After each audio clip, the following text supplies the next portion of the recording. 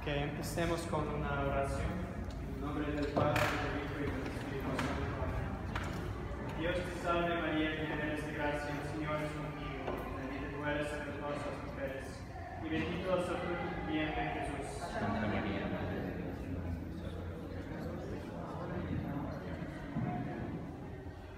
Madre de gracia, Madre de misericordia. en la vida y en la muerte. En el nombre del Padre, del Hijo y del Espíritu Santo.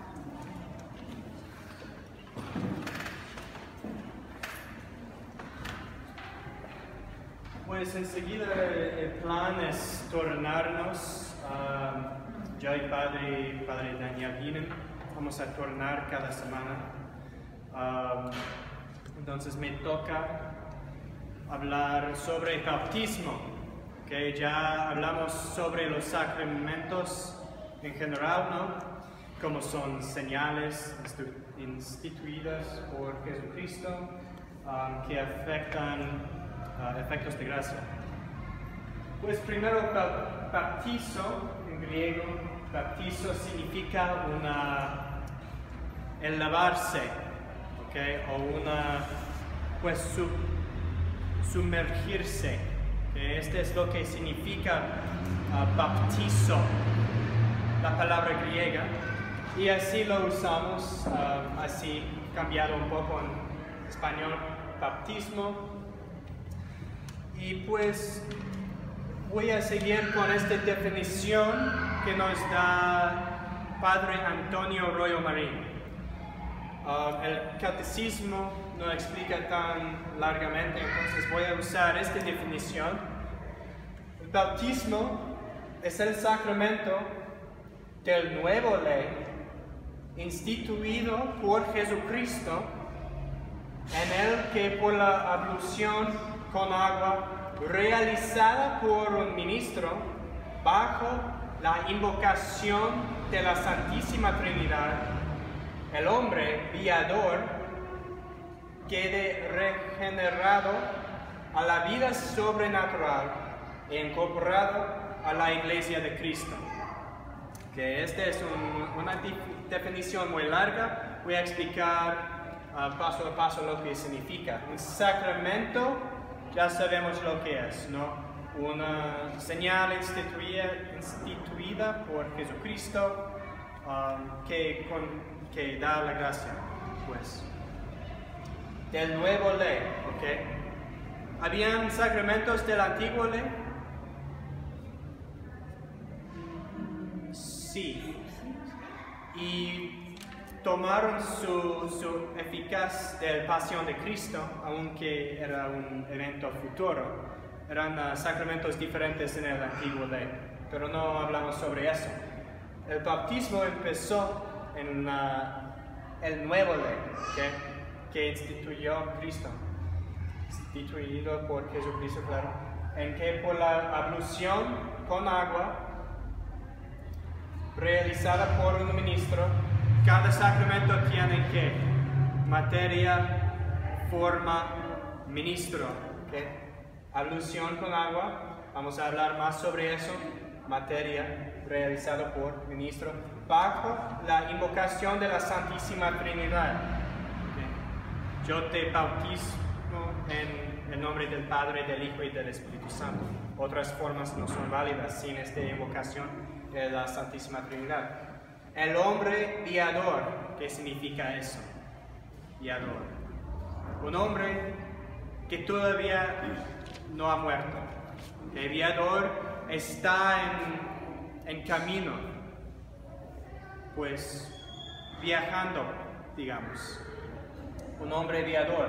Entonces, como los mormones, los mormones bautizan a los muertos, que este no, no hace nada, que van a los, como se dice, sepulturas y intentan bautizar a sus antepasados, pero este no hace nada. Un hombre viador que siga, sigue viviendo en esta tierra, queda regen- regenerado a la vida sobrenatural.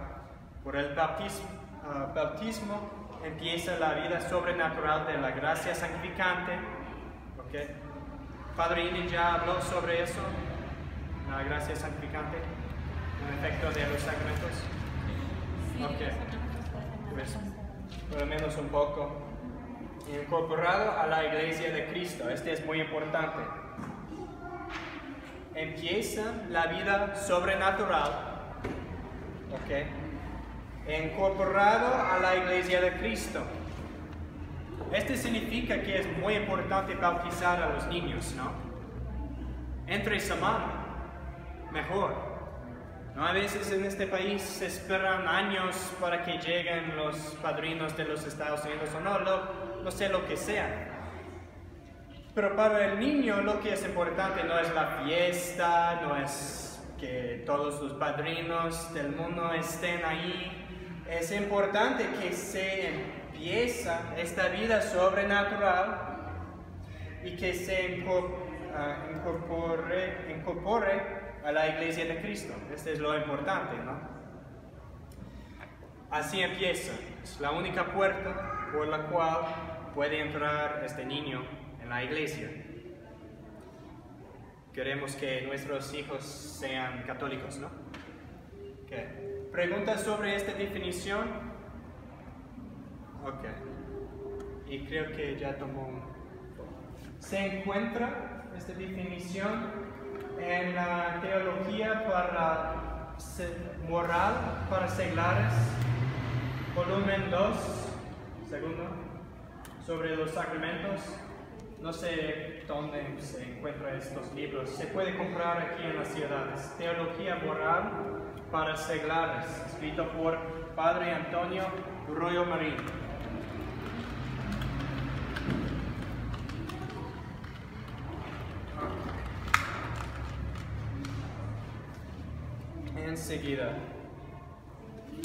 Hablamos. Ok. El concilio de Trento usa palabras muy fuertes para, um, para enseñarnos del efecto del bautismo. Con pecado original nacimos hijos de hierro. De hierra, ¿ok? Bajo la potestad del diablo, enemigos en un sentido u otro de Dios. Que no tenemos la gracia, no tenemos caridad, fe, esperanza. El niño es inocente, que si muere no va, Dios no va a castigarlo. Pero todavía le falta esta amistad sobrenatural con Dios. Hijos de hierra. Y se convierte de hijos de hierra por el pecado de Adán en hijos de Dios. Ado- ah, adoptidos. Adoptivos. Sí, hijos adoptivos. Hijos adoptivos de Dios.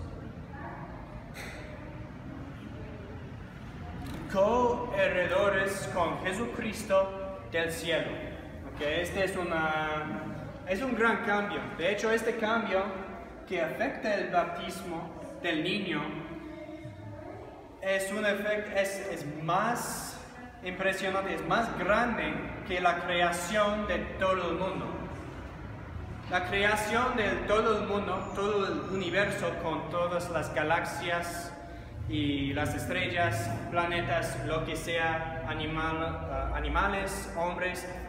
La creación del universo es una obra de Dios más pequeño que este, este efecto por el bautismo, que se convierte un hombre de hijo de ira a un hijo adoptivo de Dios con su una participación en su naturaleza.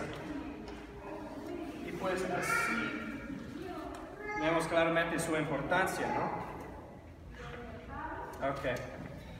Vamos a hablar un poco sobre la materia, la forma y el ministro.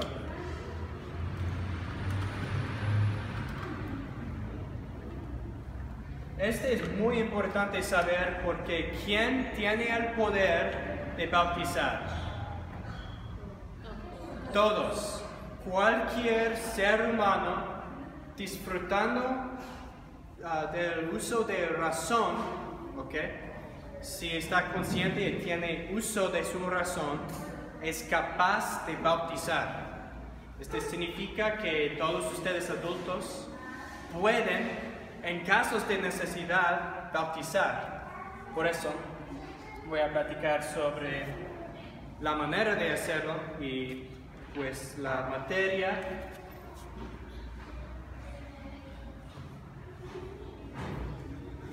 Usualmente distinguimos entre materia remota y materia próxima.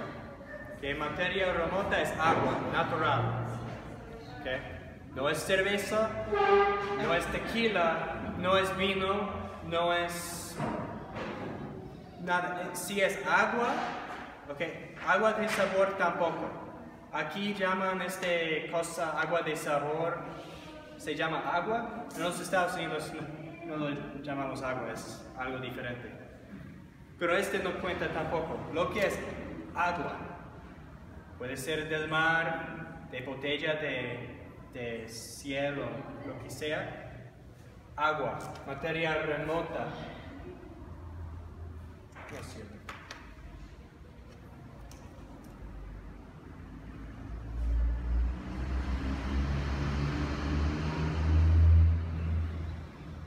Ok. La materia próxima es el lavar. Próxima es el lavar con agua. Ok.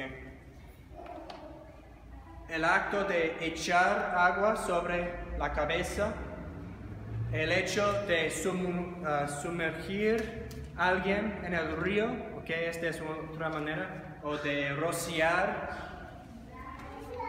en la cara con mucha agua diciendo las palabras. Lavar con agua. Si el ministro no echa agua o no sumerge al hombre o no rocía para que el agua corre en el pie, no hay este materia próxima. No puede, no puede haber un, no se puede haber un sacramento. Lavar con agua. Y este, pues hay tres maneras. Sum- ah, sumergirse como Juan Bautista, no en el río. Yo te bautizo en el nombre del Padre, del Hijo. Así es válido. Y en los tiempos antiguos este fue ah, la costumbre de la iglesia. Am, de hecho, por eso hablan en la iglesia antigua de ah, diáconas, sí, diáconas, diáconos pero femeninas, no eran ordenados, pues ordenadas, pero tenían esta delegación de hacer una sola cosa, bautizar a las mujeres, ¿ok? porque este es, pues, ya basta sobre eso. Y pues la costumbre en la iglesia romana hoy en día es echar agua sobre la cabeza, usualmente al frente así, para que corre, para que, para que corra agua ah, sobre su cabeza. Tiene que tocar piel y correr. ¿ok? No puede ser nieve, este no es un problema aquí, no hay mucha nieve. No puede ser hielo, no puede ser vapor, tiene que ser agua corriendo sobre piel. Usualmente en la cabeza. Si el agua corre sobre la cabeza, es cierto, es ciertamente válido. Correr sobre A veces es necesario tratar de bautizar en otra parte por, no sé, accidente del tren o algo así, solo está expuesto en mano, la, la mano y pues es condicional. Lo que es ah, cierto es que el agua corre sobre la cabeza. ¿Ok? Pregunta sobre la materia. En Cuando bautizamos solemnemente con todos los ritos, ah, que es ah, la manera normal, no usamos agua normal, sino consagrada, con una, y en eso mezclamos la, la sacra crisma, ¿ok? este óleo santo que huele de, no sé cómo se dice, balsamo, algo así, tiene un buen olor. Mezclamos este aceite en el agua en la fiesta de Pascua. Y pues aceite y agua no se mezclan, entonces el agua permanece agua. Pero ponemos crisma para significar el efecto del Espíritu Santo veniendo a esta persona con todos sus dones, las virtudes ah, y todo eso, la presencia del Espíritu Santo, porque la crisma significa por su olor, significa la presencia del Espíritu Santo, entonces ponemos crisma. Pero tiene que ser agua y no agua de sabor. Si no hay preguntas sobre la materia, que es muy sencilla, voy a hablar sobre la, la forma.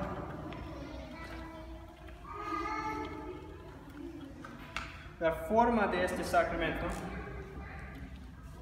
se invo- ah, con la invocación de quién? Santísima Trinidad, las tres. Forma.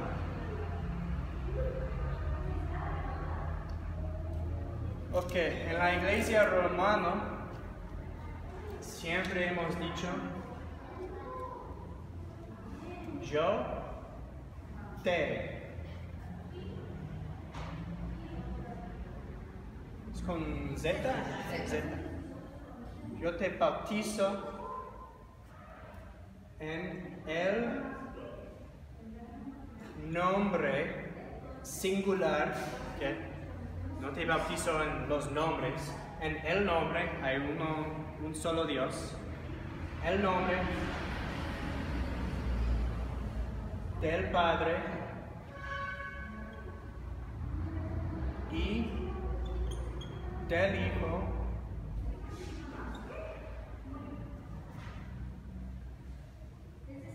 y del Espíritu Santo. ¿Ok? Tiene que tener estas tres nombres distintas así. Y el nombre. ¿Ok? Así. Entonces, si hay una emergencia, están al hospital, nació el bebé, va a morir en una hora. ¿Ok? Están seguros. O es probable que el bebé va a morir. ¿Qué hacen? Toman agua natural, ¿ok? Y lo echan, deben echarlo sobre la cabeza, puede ser muy poquito, pero echan un poco de agua sobre la cabeza mientras decir estas palabras. No pueden echar agua y después decir las palabras, o decir las palabras y después echar agua sino mientras decir estas palabras, yo te bautizo en el nombre del Padre, del Hijo, del Espíritu Santo. Pueden echar tres veces mientras decir estas palabras, pero hay que haber un echar de agua mientras decir eso. Entonces, si no saben estas palabras exactamente y no han memorizado los, es una buena idea ah, memorizarlos. Y si trabajan en un hospital, tal vez es de obligación, tal vez ah, ah, usted será la única persona que, que sabe cómo hacer eso. El sacerdote tal vez no puede venir al tiempo. Y todos ustedes tienen el poder, necesidad y tienen los mismos efectos como si fueran sacerdotes. Entonces, hay que memorizar eso. No hay amén. No hay amén.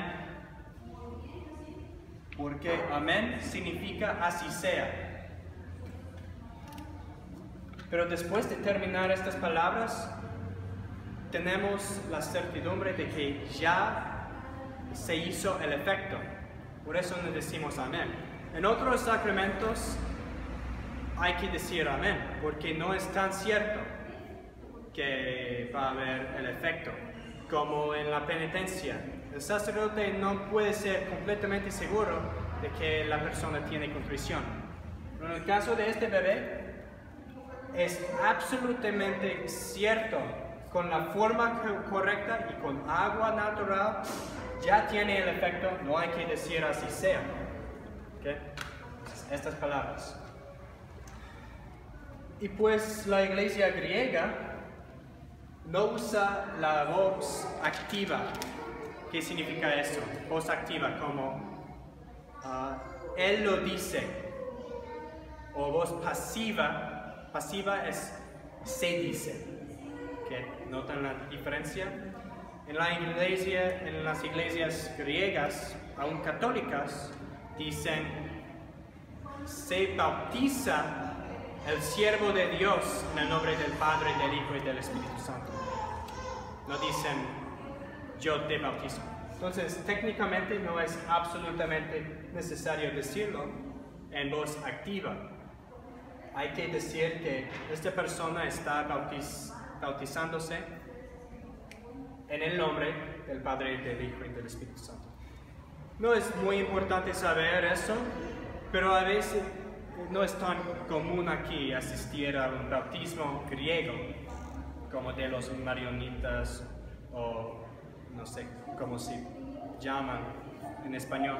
Pero hay diferentes iglesias católicas griegas que usan una forma similar pero un poco diferente, es válido.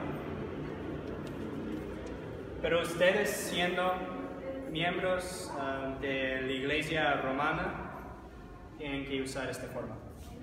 Y puede ser español, mejor latín si saben latín, pero es completamente válido en español. Y si no saben latín, mejor no decirlo en latín. Más fácil equivocarse.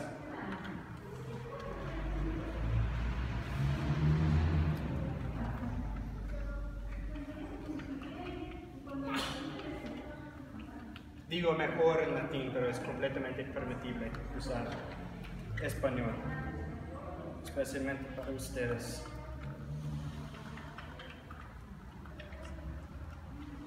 O inglés, hay, unos gringos aquí. No. Ok. Esta es la materia, forma, mismo tiempo. Ah, el catecismo del Concilio de Trento explica por qué usamos agua. ¿Ok? ¿Qué significa bautismo? ¿Qué es el efecto? Una limpieza espiritual, ¿no? De todo tipo de pecado. ¿Ok? No es el único efecto, no solo quita pecado, sino da la presencia de Dios y una participación en su naturaleza, pero el efecto más obvio es que quita todo tipo de pecado. ¿ok? Limpieza espiritual. Una cosa muy accesible a cada, per- cada persona en cualquier parte del mundo es agua. ¿ok? Bautiz- ah, bautismo siendo necesario, es necesario que la materia sea muy accesible, ¿no?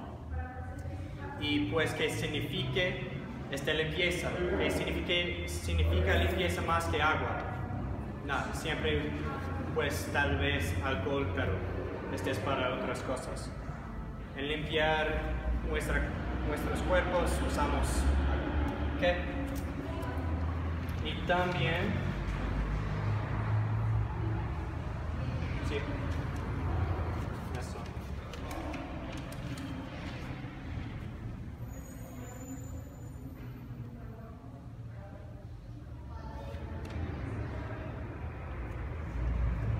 Ok. Vamos a hablar un poco sobre el ministro del bautismo. Ministro.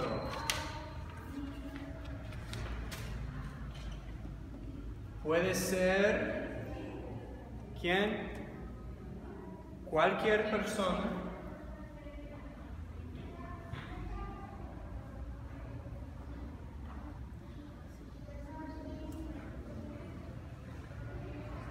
Este es para que sea válido, ¿ok? Para ser lícito, si no hay necesidad, no es lícito que cualquier persona lo haga. Pero para validez, cualquier persona que tiene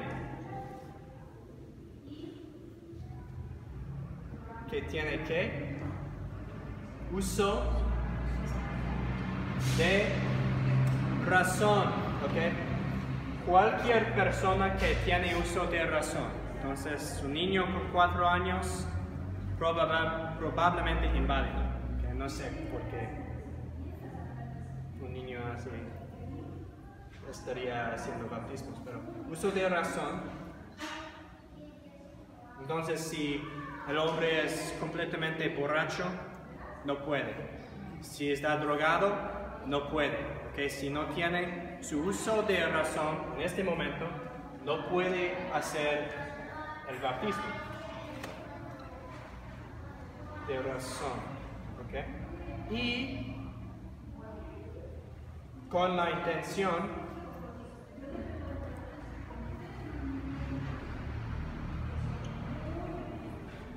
de hacer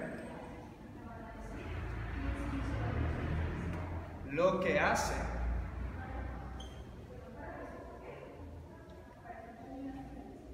La iglesia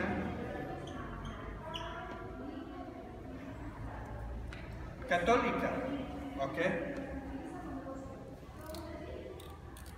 Eso puede ser implícita, ¿ok? Porque los protestantes, la mayoría de ellos bautizan válidamente, ¿ok? A veces no, porque tienen una forma equivocada o ti- entienden o tienen una intención completamente contraria.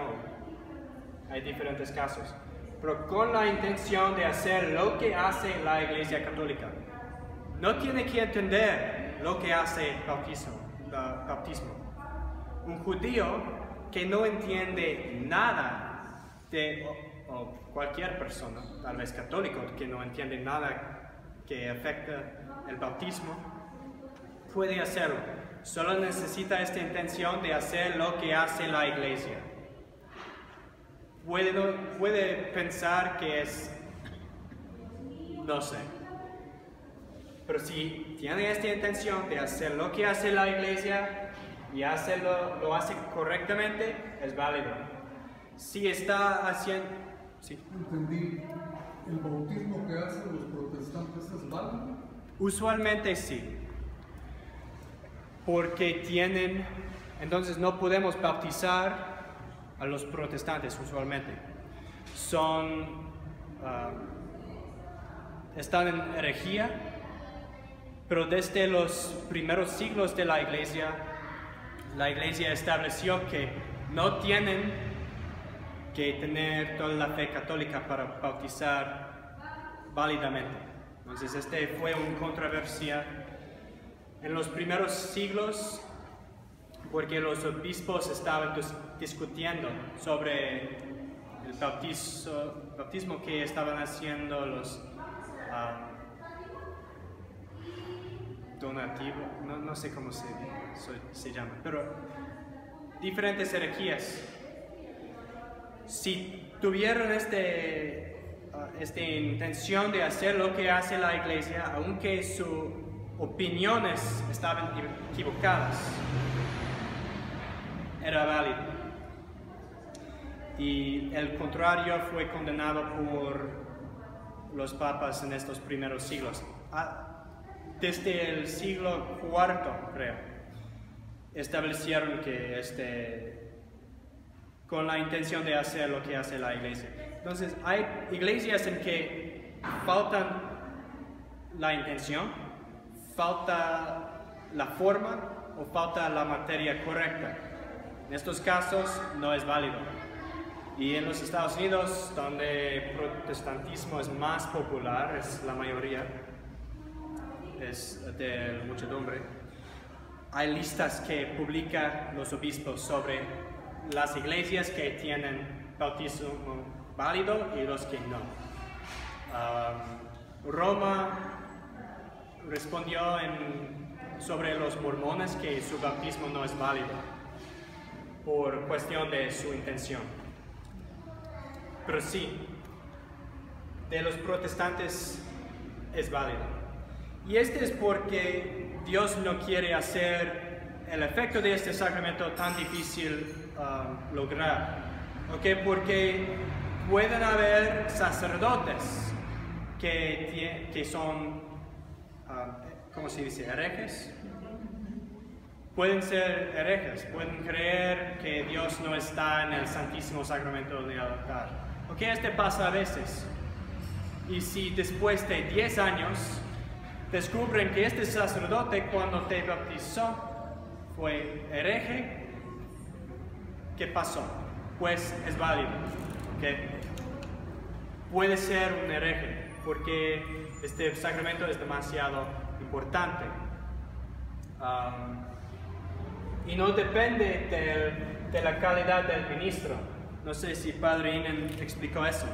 No importa si tengo en el estado, si importa a mí, pero no importa cuan- en- con respecto a la validez, no importa si estoy en el estado de gracia o no. ¿Ok?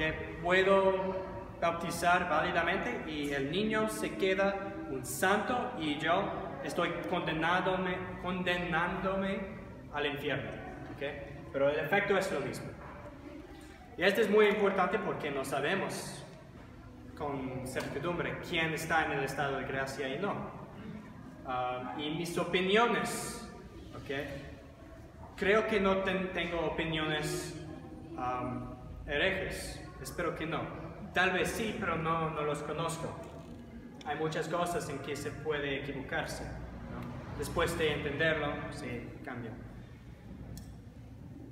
Pero el ministro, cualquier persona que tiene un uso de razón. Entonces, alguien que está haciendo bautis- ah, bautismo para burlarse de la iglesia, diciendo las palabras y echando agua, solo para burlarse del- de los ritos católicos, este no es bautismo. ¿Por qué? Falta la intención. ¿Ok? O como el borracho. ¿Ok? Si no tiene su uso de razón en este momento, falta uso de razón. ¿ok?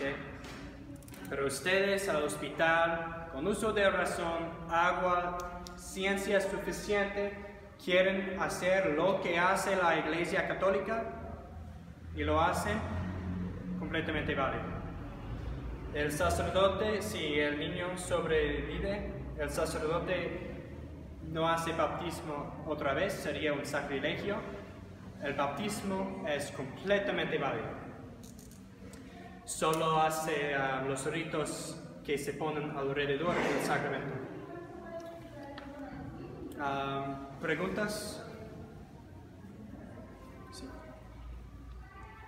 El- yo pensaba que el niño que está en, punto de morir y se le bautiza a alguien que no es sacerdote, es válido, como acaba usted de decir.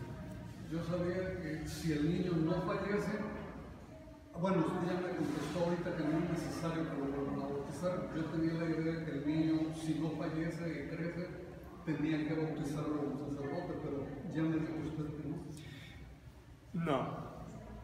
Solo bautiza, le bautiza el sacerdote condicionalmente si tiene una duda sobre la manera de bautizarse. ¿Ok?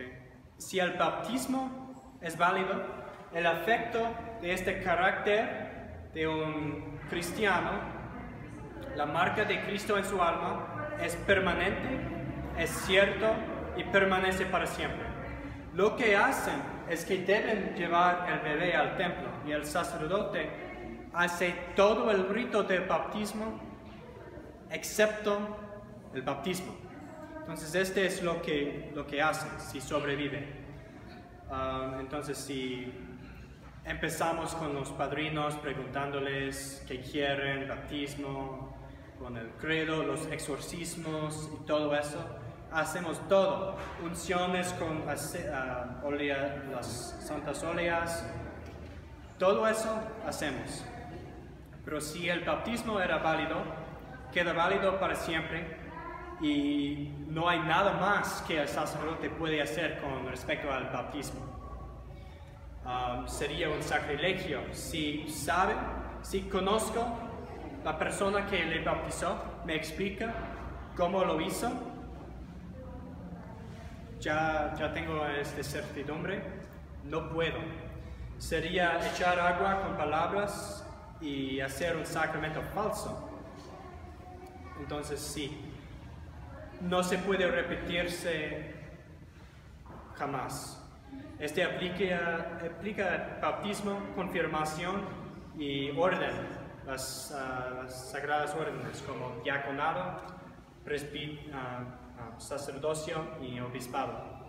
Um, estos tres sacramentos, bautismo, imprime un carácter permanente y confirmación también y orden. Entonces, este ministro, ¿más preguntas sobre el ministro? El bautismo es un sacramento de limpieza, De, de limpieza de nuestros pecados. sí,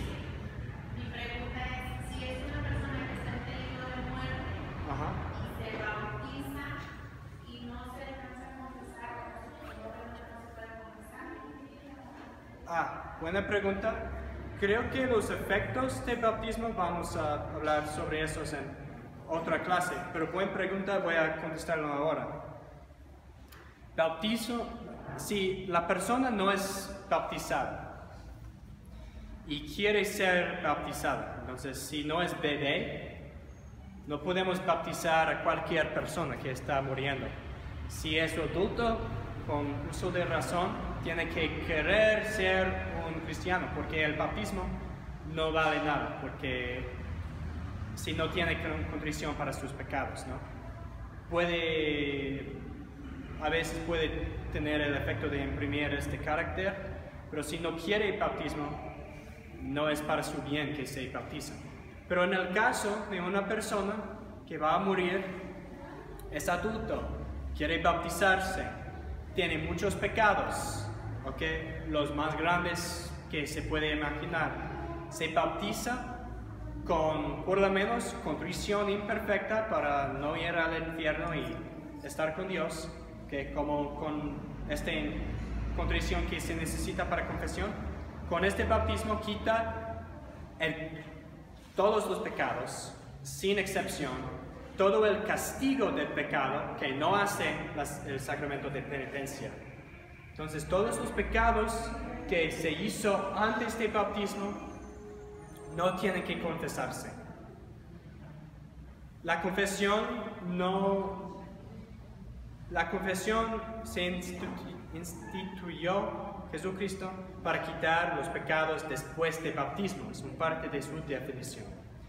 Todos los pecados antes del bautismo, incluso todo el castigo, se quita con bautismo.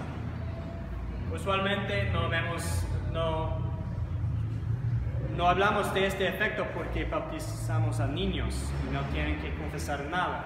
Pero si es adulto, quita todo, sin excepción. Ah, sin, excepto en el caso en que no tiene contrición por cualquier pecado, entonces tiene que confesar eso después. Pero si tiene contrición, ya. ¿Otras preguntas?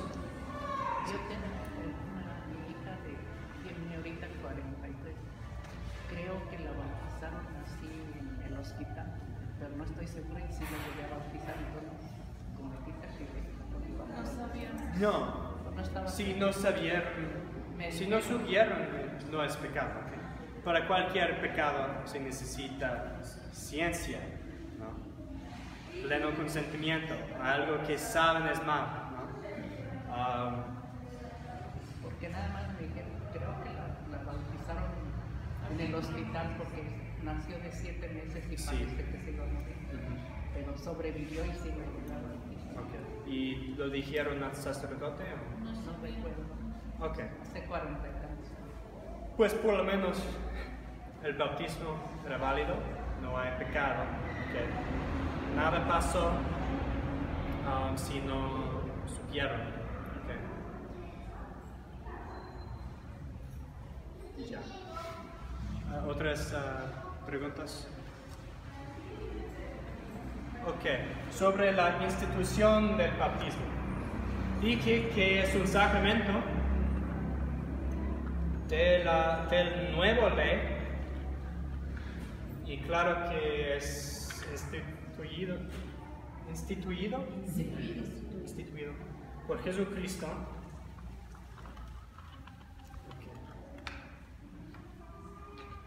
La institución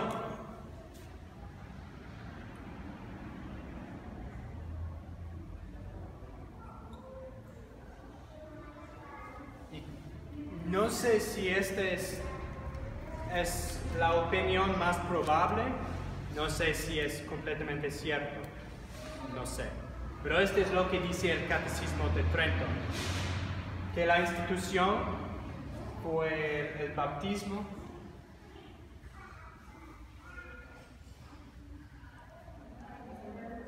De Jesús.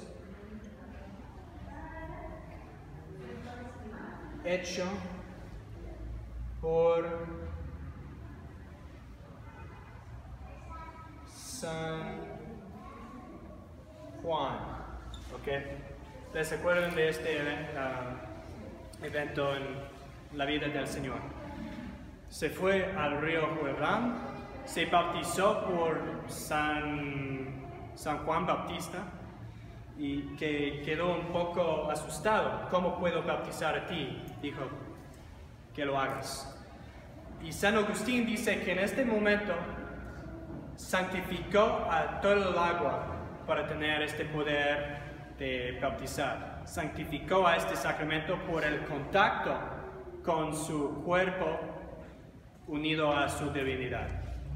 Así instituyó el, ah, este sacramento en este evento. Cuando se, cuando se hizo obligatorio, obligación, y sí, es, es de obligación bautizarse, que cada persona tiene la obligación, ¿ok? Si no sabe de la obligación, hay diferentes reglas, ¿ok? No voy a hablar sobre eso si no hay preguntas enseguida, pero cada persona tiene la obligación de bautizarse si quiere salvarse. No se puede recibir el Evangelio y decir qué bonito, creo en Dios, creo en Jesucristo, su Evangelio, voy a vivir bien. Si no tiene la intención firme de bautizarse, no puede salvarse. ¿ok? Esta obligación empezó en Mateo, Evangelio de Mateo, Mateo, creo que es 28, 19. Y de predicar a todas las naciones, bautizándoles en el nombre del Padre, del Hijo y del Espíritu Santo. Este es también lo que dice el Catecismo del Concilio de Trento, que en este momento lo hizo obligatorio. ¿ok? En cada obligación se necesita ciencia, ¿no? Si es mi obligación de, ah, no sé, pagar un impuesto y no tengo ninguna manera de saberlo, este es diferente. Pero la obligación en sí empezó inmediatamente des- antes de su ascensión en el cielo, ir y predicar bautizando, ¿ok? Y subió. ¿Preguntas sobre eso?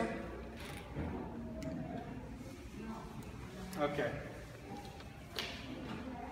Voy a hablar un poco sobre lo que mencioné, que es una obligación. ¿Qué decimos de los paganos? O los que no reciben bautismo. Es la voluntad de Dios que cada ser humano se salve, ¿verdad o no? Sí, así dice San Pablo Así dice en muchas partes de las escrituras, es cierto, es de la fe. Dios quiere que nos salvemos. No murió para unas personas y no otras. En la consagración decimos por muchos, porque el efecto toca a muchos, pero su intención ah, anterior es morir para todos. Todos tienen la oportunidad de salvarse. Puede ser un pagano viviendo en un bosque, no sé, 10 mil kilómetros de cualquier persona que sabe el Evangelio. ¿Qué decimos de eso? Pues, o un catecúmeno, si estoy preparándome para el bautismo, ¿ok? Estoy viviendo bien, ya aprendí cómo vivir como católico y muero. ¿Es posible que me salva o no? Sí es posible. El concilio de Trento ah, dice que no se puede salvarse sin bautismo o por lo menos el voto del bautismo, así dice votum en latín, como la intención firme de bautizarse. Dios reconoce la intención firme de hacer una cosa. Dice también que el que mira a una mujer con lujuria um, ya comete adulterio, ¿no? Así juzga Dios, juzga el corazón, no juzga como los hombres. Y también en el caso de los sacramentos que hace obligatorio, puede lograr el efecto solo por la misericordia de Dios, por su intención firme de recibir bautismo. Si este no fuera posible, no tendríamos ah, un catecumenato, así dice, catechumenate. Sería una gran locura, porque si muriera, nos salvaría. Pues así es, la intención firme, ¿ok? Regresamos al bosque. Ahí están los paganos que no saben nada de Jesús, nada de, del Evangelio. Nadie, nadie les dijo nada de, de nada. ¿ok? Pero cada persona tiene la gracia y la oportunidad de salvarse. Esta intención y deseo de bautizarse puede ser explícito o implícito.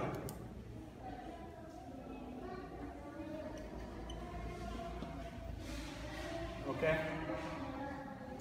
Por uso de razón, cualquier persona que disfruta este uso de razón, al empezar siete o lo que sea años, tiene la capacidad de conocer que hay un Dios y que da un premio a los justos y castigo a los injustos.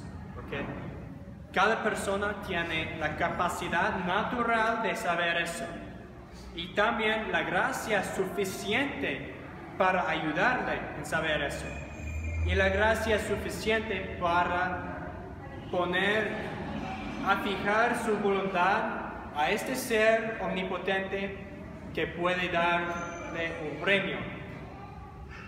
Con esta intención, con esta ciencia natural, ayudado por la gracia que todos tienen suficientemente, puede lograr gracia santificante. ¿Okay? El bautismo de deseo, así digamos, implícitamente. Para el catecúmeno es más, más obvio, ¿no? Quiere bautizarse. Yo quiero ir al templo que el sacerdote me bautice. El pagano que no sabe nada, tiene la gracia, puede salvarse, sí. Todos tienen esta gracia uh, suficiente. La obligación de hacerlo en realidad con echar agua, este aplica a los que pueden. Dios no exige lo imposible. ¿Se queda claro? Muy bien. Y de hecho, eh, entre los indios en los Estados Unidos hay historias de indios que estaban, no fue común que los indios en los Estados Unidos vivieron justamente. Sus ah, culturas eran llenas de pecado y todo tipo de pues cosas que no debo decir aquí.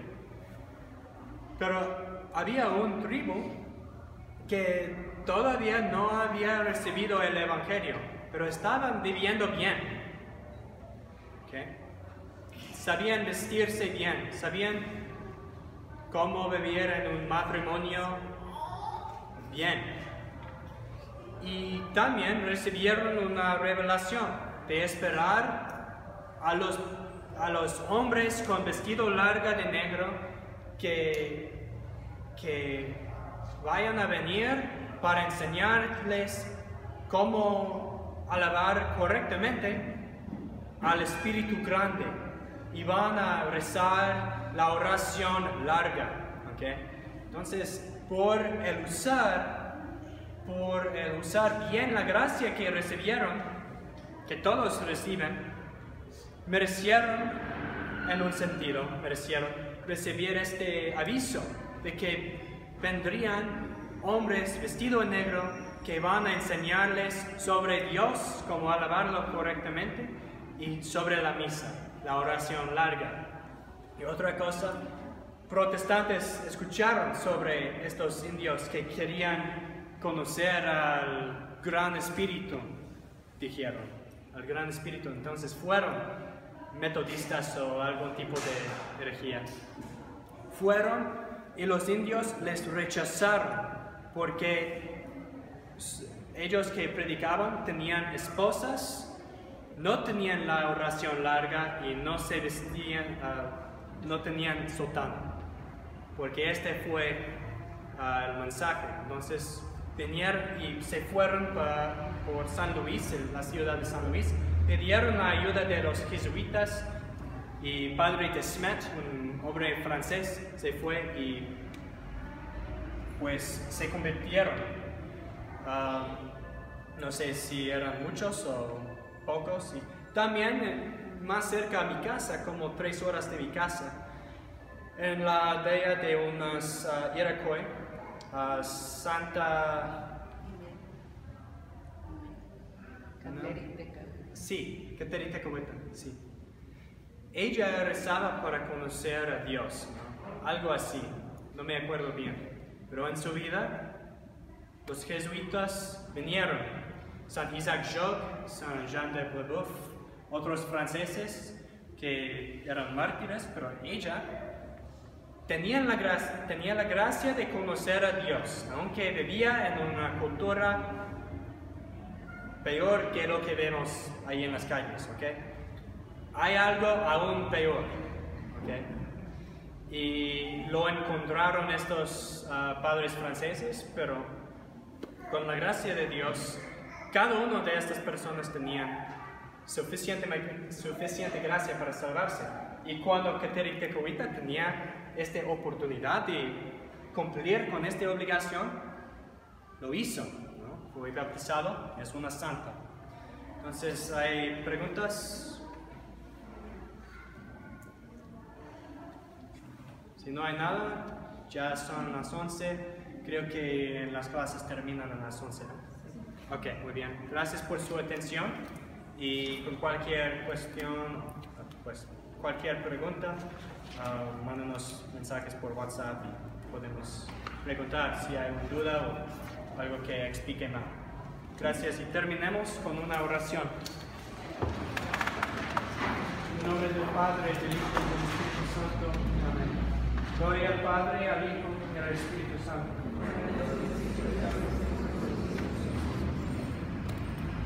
María, Madre de Gracia, Madre En el nombre del Padre, del Hijo y del Espíritu Santo.